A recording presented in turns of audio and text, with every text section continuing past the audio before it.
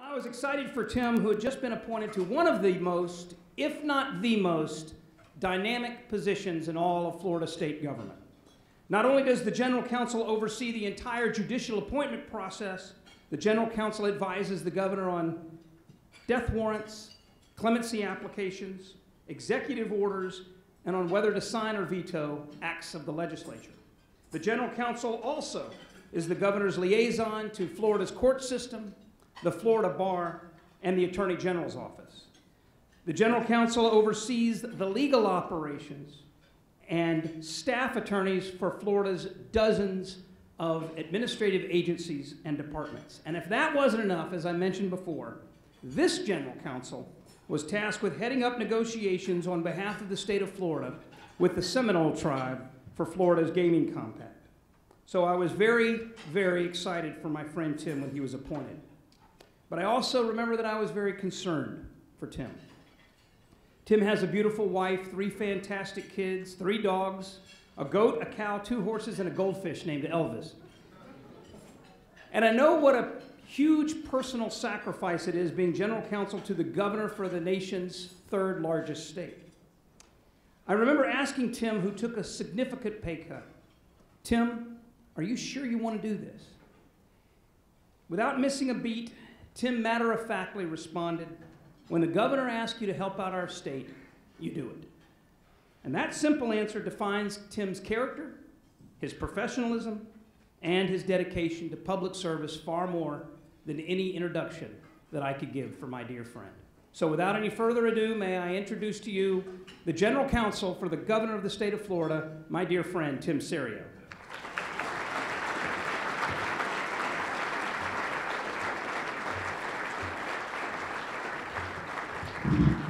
Thank you all very much. Um, first, uh, Ed, you, you have brought uh, the level of dignity to the third D- DCA of a game show host, but nevertheless, I know how beloved you are by your colleagues. I do want to thank Jason Gonzalez um, first for asking Judge Scales to introduce me at this event. Um, and Jason, I look forward to taking a very special interest in any matters you have pending now before the executive branch and any of our executive agencies. Judge Scales, Ed, um, thank you for that introduction. Ed, as you all can tell, Ed loves to MC events. Um, his introductions, especially, are hilarious, wildly inappropriate, completely inaccurate, much like his judicial opinions. Um, and I, you know, it's funny. I do remember talking to Ed one day before he got on the bench, and I asked him, you know, Ed, why do you want to be uh, a judge so badly? You've applied to the JNC 43 times. You know, your name's gotten to the governor 17. It just doesn't look good, but you keep doing it. And Ed told me, he said, I have, I love public policy. I've always wanted to be in the legislature, but when people meet me, I am immediately despised. So why not get appointed and I can legislate from the bench? So I was kind of surprised to see Ed here today, or but I, I am happy he's here and was invited. But um, all kidding aside, as, as Ed mentioned, he is my fraternity brother. He's been my good friend for almost 30 years. He is, he is a great jurist, and he absolutely brings conservative principles to his judging and a philosophy of restraint on the bench. Uh, he's armed with a keen mind and a great sense of humor. Um, I know that in his two years on the bench, he has earned the respect uh, and, and even the friendship of all of his colleagues on the 3rd DCA. And Ed, I know I speak for them when I say you will be sorely missed after your upcoming merit retention election. um, now, as the governor's general counsel, uh, what I'd like to do is, you know, I'd like to make some comments and then at the end take some questions because as Jesse told me, most of our speakers have canceled, so he's asked me to eat up some time. But um, I would like to end with some questions. But, you know, one of the things that I've enjoyed being general counsel, all kidding aside, is a camaraderie with my with uh, folks who've sat in the chair I now occupy. Um, and I don't know how, how many of them are here. I don't know. I don't think Paul Huck is here, is he? Or, or Charlie Trippy or any of those folks. Jesse is obviously here. Jason is here. Um, Jesse's been a great uh, resource for me. Uh, I call him a lot. Actually, more accurately, Jesse calls me. He's not shy about expressing his opinions. Um, and you know, I was one time I was going through a very sort of a very difficult period, and I was trying to figure out a, a, fairly complicated issue. And Jesse was very encouraging. He, he truly, he put his arm or his hand on my shoulder and he said, Tim, you really in these times, you've got to rely on a higher power and you need to get in a quiet place and just ask yourself, WWJD, you know, what would Jesse do? So, not a humble man, but a good friend nevertheless. And, and of course, uh, I would absolutely be remiss if I did not recognize um, that shy and wallflower of a man, Pete Antonacci. Pete, it, it, it, is almost one o'clock. How many people have you fired today? I'm just curious. Where is Pete? Um, no, Pete is, Pete is a great resource for me. As some of you have asked me at this conference about the upcoming um, Constitutional Revision Commission, and as you know, it only meets every 20 years, and I have the benefit of Pete's experience. He's been through seven of them, so it's, it, it's really good to have him here.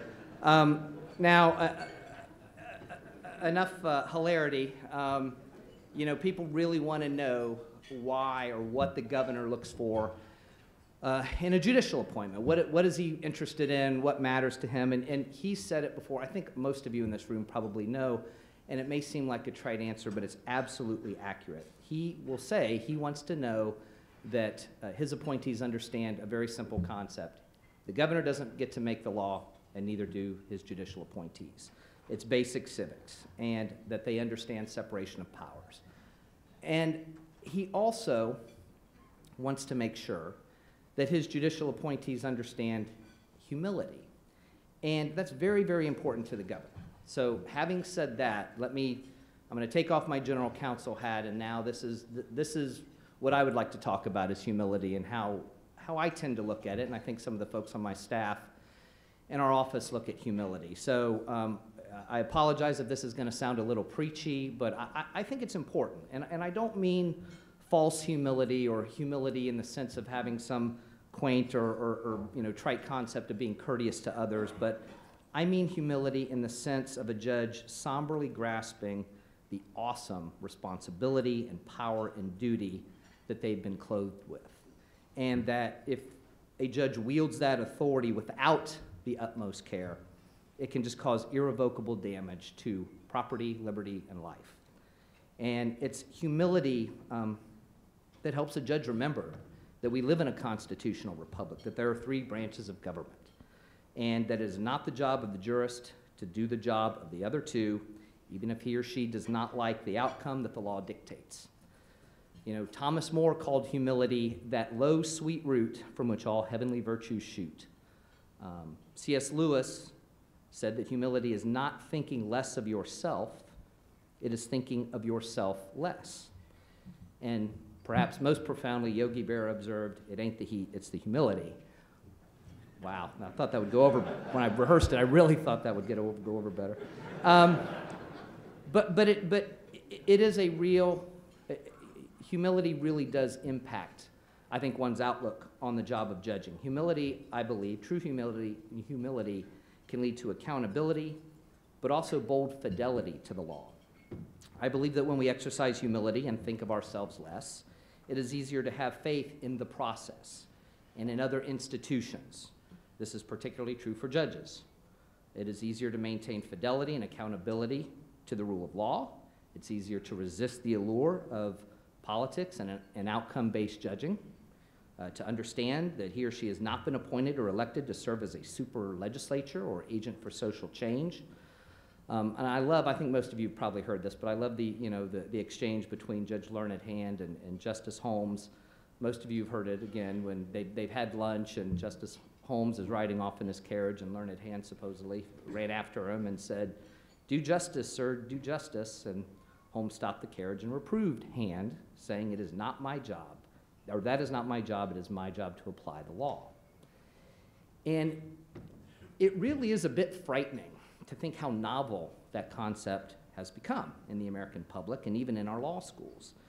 Um, I was at an event a few years ago, and Justice Thomas uh, had spoken at the event, and um, he was relaying a story after he spoke about uh, an exchange he had with some Ivy League law students. He loves spending time with students. He travels the country. I think he actually is at the University of Florida next week speaking. But he was having an exchange with students at, at an Ivy League school, and they were, you know, throwing hypotheticals at him. And one, one of the students threw out this very sort of um, hypothetical that demanded a result that was, you know, very noble sounding, um, but a very progressive outcome. And Justice Thomas uh, said, well, what's my basis of authority? What is my basis of authority for ruling that way? And the student answered, well, I mean, wh- what do you mean, Your Honor? You're, you're a Supreme Court judge. That's telling. That's very, very telling.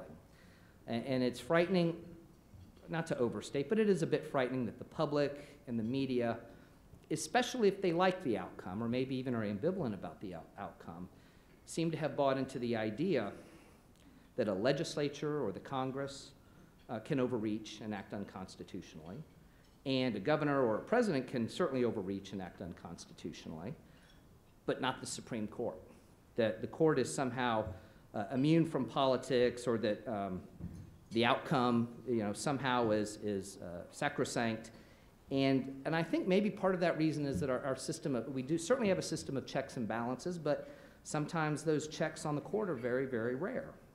So this is the mentality, I believe, that's come to, you know, come to permeate, you know, American jurisprudence. And I, I certainly wouldn't relish our courts uh, or the law itself losing legitimacy, you know, but that is what happens when institutions overreach. Um, we are imperfect human beings. It happens, uh, and we get it wrong. Madison said that the essence of government is power, and power, lodged as it must be in human hands, will ever be will ever be liable to abuse. And that is true of all three branches of government. Sometimes the abuse is certainly not intentional, but we do get it wrong.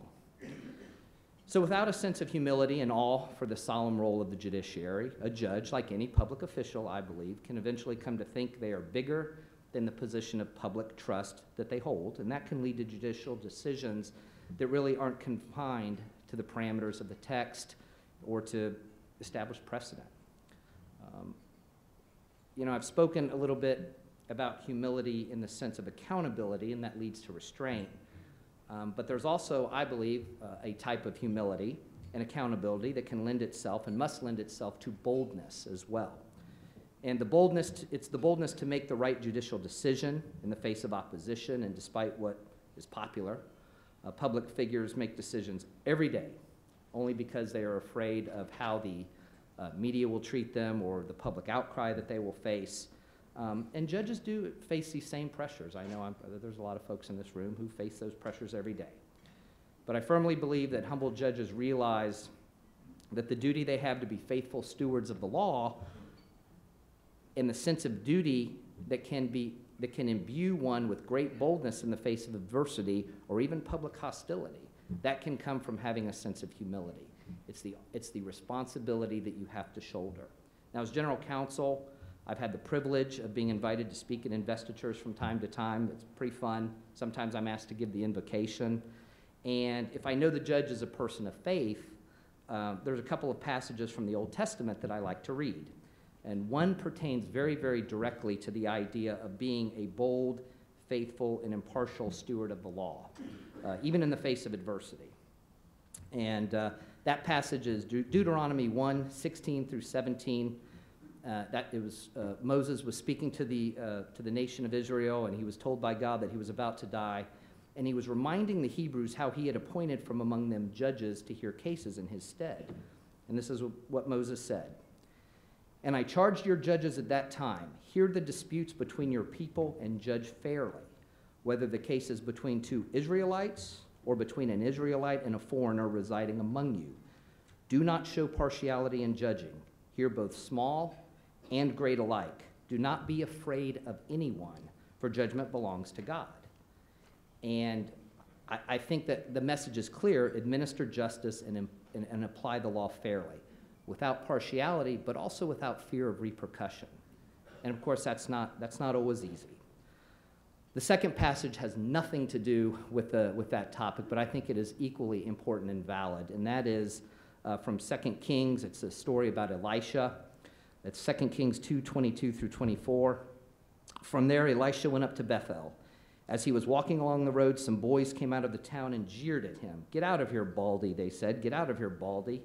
He turned around, looked at them, and called down a curse on them in the name of the Lord. Then two bears came out of the wood and mauled the boys. True story. And the moral of that is do not make fun of bald people either. um, very important concept in, in American jurisprudence. So, um, to sum up, um, at least my first scripture, or first scripture I mentioned, teaches that we should judge without partiality, regardless of the status of the parties. Do not be afraid of, of, of what will come after public outcry, whether you're tilting in favor uh, politically, not under the law, of the stronger party or the weaker party because you think of a, a certain result as proper. Um, that's important, of course. And, you know, Judge Bork wrote in The Tempting of America 25 years ago, it's hard to believe it's been 25 years, um, that no legal system can produce increasingly political results without at some point ceasing to be or earning the respect due a legal system. Groups that have been taught to see the courts as their reliable political ally, as their branch of government, react in fury when courts begin to apply law instead. The Supreme Court is our preeminent symbol of the rule of law. The court comes to seem illegitimate, the legitimacy of law itself declines and the moral obligation to obey it is cast into doubt. And to Judge Bork's point, judges should not consider themselves as political allies of anyone. To do so is, with all due respect, even with the best of intentions, a bit arrogant and dangerous and can uh, erode the legitimacy of our, of our judicial system. Humility, however, I believe, can often be uh, the inoculant against that temptation. The kind of humility that promotes a sense of reverence and, and boldness and fidelity to the law. So, um, with that said, um, I, you know, when Judge Bork wrote the, the Tempting of America, um, it had a, it, it did have a major impact on the development of the law. And, and we can be disheartened from time to time on seeing some of the, the opinions that come out of our nation's and our state's highest courts. But somebody made the point yesterday about Justice Scalia. Whether you're talking about Scalia's opinions or writings or, or Judge Bork's writings, some of the opinions of judges in this room, um, you have made a difference. You have, not just with um, the, the judges, the lawyers, the law students, even the general public now. There's a, there's a, there is, there are many who understand that, that, um, the, or excuse me, there are many who understand the importance, the supreme importance of adherence to the text and the plain meaning of the law. So thank you for all that you do to the Federalist Society. Sorry if I droned on a little bit, but I'd love to answer any questions that you all may have.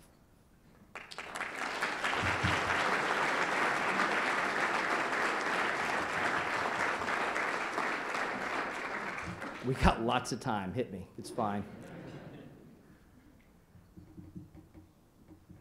No, Ed, you don't get to ask a question. Anybody? Come on.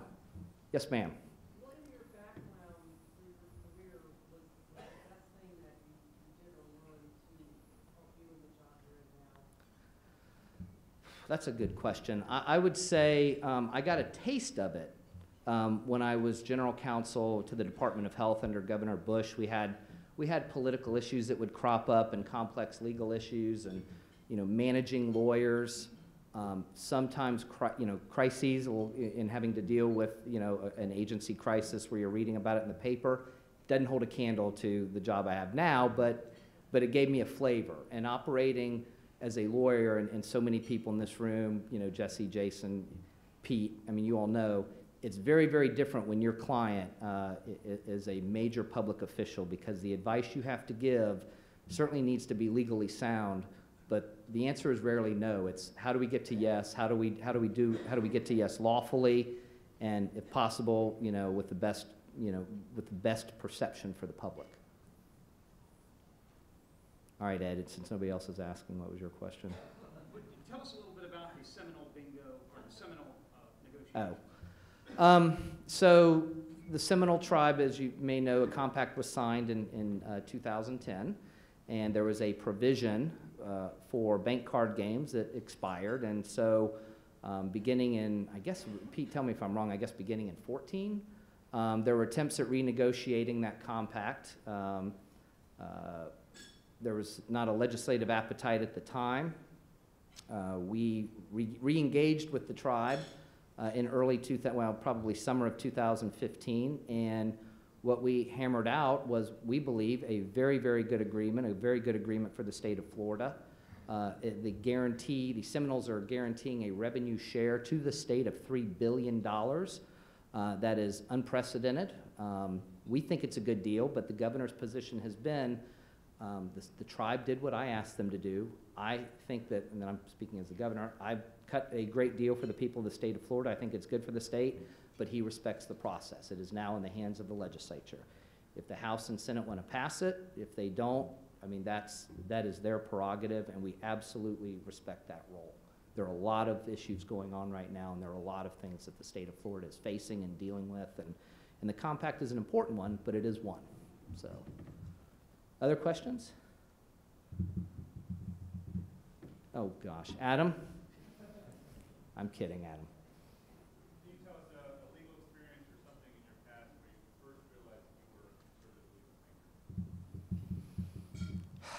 That's a very, very good question. It's, it's, you know, it's sort of, you know, sometimes it's like faith. Some people have a big, you know, epiphany, and others it just sort of develops gradually. I think mine is the latter. Um, although I, I think I'm pretty good at seeing the other side. I just, I've always had um, pretty conservative core principles. Um, there, there was never a, there wasn't that epiphany moment for me. Um, going to law school, uh, where it gets, you know, where those, where those perceptions are challenged, or where you, you know, getting angry at a law professor because you may, you may, I, I may have perceived, perhaps incorrectly, but probably not, that they had, that they were, um, you know, maybe, maybe twisting a principle or ignoring something that was clear in a statute for an outcome. Certainly taking uh, constitutional law and learning about the various theories of legal interpretation was pretty eye-opening, probably. Yes, ma'am. whenever anyone takes a new job, they always have an idea of what things are gonna be like. What part of the job as general counsel has surprised you? you, you can be told how intense the job is, but, and I, and I don't mean to sound whiny, I really don't. I mean, it is, it is the best job, and this is kind of depressing, it is the best job I believe I will ever have, legal job. Um, it is the most exciting legal job I will ever have. My, my boss is not only, as you all know, a great businessman, but he is a great lawyer and built a heck of a practice um, before he decided to, uh, to get into the business side. But um, I, I just, you know, you can't fathom the intensity. I mean, that, that was probably it. And, it. and it's one of those things that you, over, over time, maybe weeks or, or maybe months, you just, you start to, you get used to operating in that high-pressure environment. I think the best piece of advice I received, I was, it was probably week three on the job, and one of, one of the 23-year-old staffers was in, was in the office, and she looked at me and said, well, Mr. Cerio, how are you doing? And I said, oh, you know, I'm, I'm hanging in there. It's going okay. And she said, well, the easiest thing is when you just realize that every day there's going to be a crisis, and that's okay. It makes the job a lot easier. Best piece of advice I got. She was absolutely right. Absolutely right. Yes. Similar to the question that was given to Ms. Evans yesterday, Justin, uh, something you said prior, what are you most proud of as, uh, general counsel? I, I'm, I'm certainly proud of, of the compact, just because as a document, just negotiating with the tribe, we, we got a lot. However, and I know this is going to sound corny with this audience, but I think, I, I think our judicial appointments, I, I think that if you ask the governor, as much as the governor talks about jobs, he will say that his, his greatest legacy will be his appointments to the bench. And so I'm just, you know, fortunate that I get to share in that with Pete, with Jesse, and with Charlie Trippy.